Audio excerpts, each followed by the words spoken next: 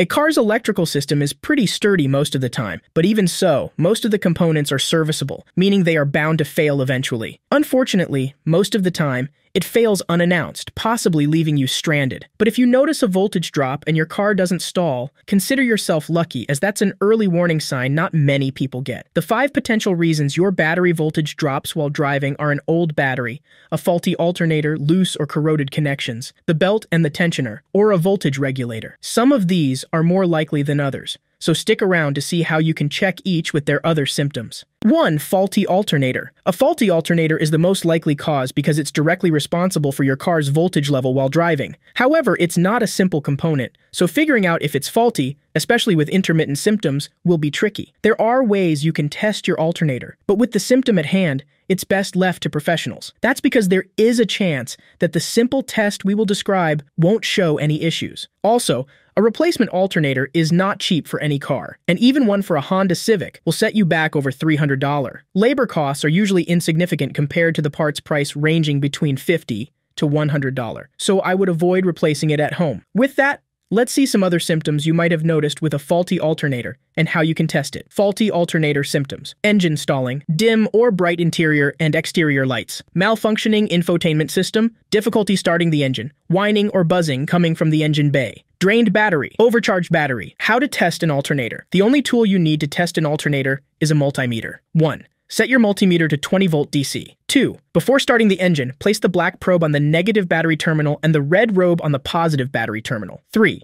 The multimeter should read around 12.4 to 12.6 volts. 4. Then start the engine and measure again. Now the voltage should read between 14 to 14.2 with all the auxiliaries off. Anything over that means the alternator is overcharging, and below that it's undercharging. 5. Now turn on as many auxiliaries as you can, radio fan, lights, etc. The voltage should stay above 13.7 or so. If it doesn't, the alternator is faulty. 2. Faulty voltage regulator. Still sticking with the alternator, only this time we are looking at a specific component. All car alternators have a voltage regulator, which does what the name implies. In other words, it regulates how much the alternator will charge the battery at any given moment, depending on the electrical load. If this part begins to fail, you will see erratic voltage spikes or drops, coupled together with all the other symptoms you get with a faulty alternator. That said, the voltage regulator is cheaper to replace so it's a good idea to test it first. A replacement voltage regulator can be as cheap as $30 and up to $100 for the average car. However, to replace it, you need to disassemble the alternator in most cases. Still, you can find more about how to replace it in this article. Otherwise, you will have to pay around $100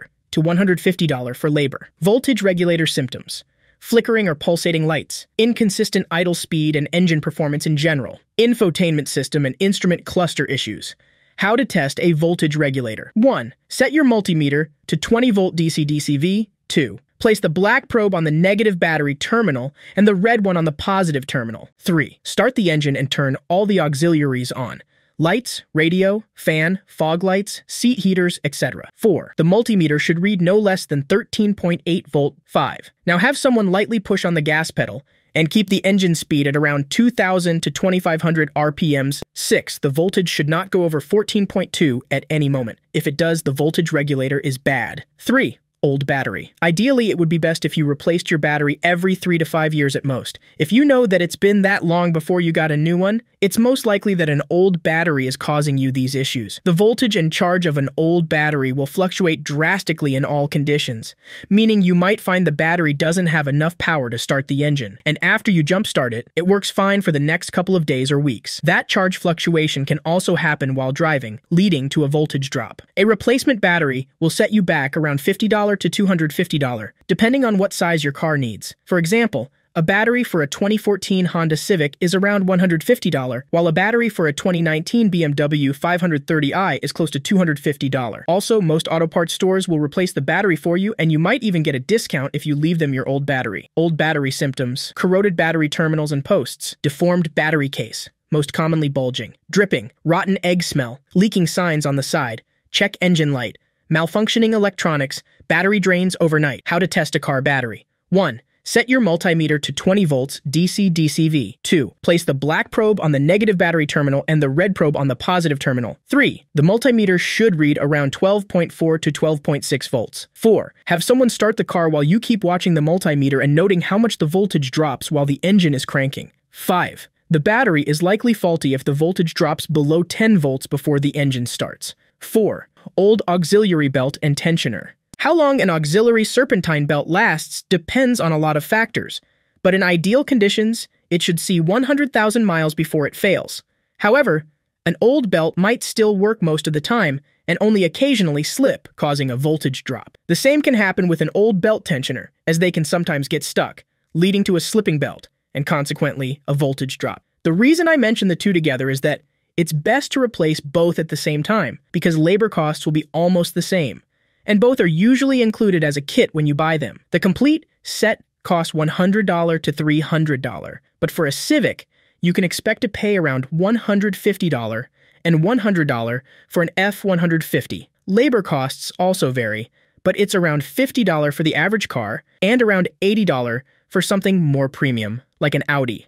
Auxiliary belt and tensioner symptoms. Squealing noise from the engine bay, especially when the engine is cold. Issues with the power steering. AC isn't working efficiently. Engine overheats occasionally. Electrical issues. How to inspect an auxiliary belt. 1. The first you should do is a visual inspection. Specifically, you are looking for cracks on the belt. 2. The second is pulling on the belt to check if it's loose. It shouldn't have more than half an inch of slack without applying too much force. 5. Loose or corroded electrical connections. Even though electrical connections are the least likely to cause the issue at hand, it's still possible. Plus, it's fairly easy to check. So, let's jump straight into all the things you should inspect. Battery terminals and posts. Check if these are corroded, and if they are, remove the terminals and clean them, either with a wire brush or some sandpaper. Also, use contact cleaner. Alternator positive wire. First, locate the positive wire on your alternator. It's usually red and covered with a runner cap. Try pulling on the terminal to see if it's loose and check if it's rusted. In both cases, remove the terminal and clean it with contact spray and a wire brush before tightening. Loose ground connections. Follow the negative cable of your battery and see where it ends up. It's usually connected to the body of the car somewhere in the engine bay, usually the firewall or strut tower. See if it's loose or corroded, and clean it with some contact spray before tightening. Alternator connector. Most alternators have an electrical plug slash connector. These are usually waterproof, but since they can often be exposed to weather, salt, and different chemicals, it's a good idea to inspect them. Disconnect the plug and clean both sides with contact cleaner spray, an old toothbrush, and a wire pipe brush for the connector terminals. To summarize what we talked about in this video, in 90% of cases, a faulty alternator is what causes a voltage drop while driving. That's not good news since it is the most expensive part to replace of all the possible issues. But I would recommend testing the voltage regulator first. If it turns out it was the voltage regulator, you will save several hundred dollars on parts and labor. Otherwise, I would first check all the electrical connectors, because it doesn't require any special tools, and you can do it in 5 minutes. As for other potential causes, make sure to check all the symptoms and how to test each of them to avoid replacing a healthy component. I hope this video helped. Thank you for watching. Don't forget to like and follow so you don't miss any of my videos.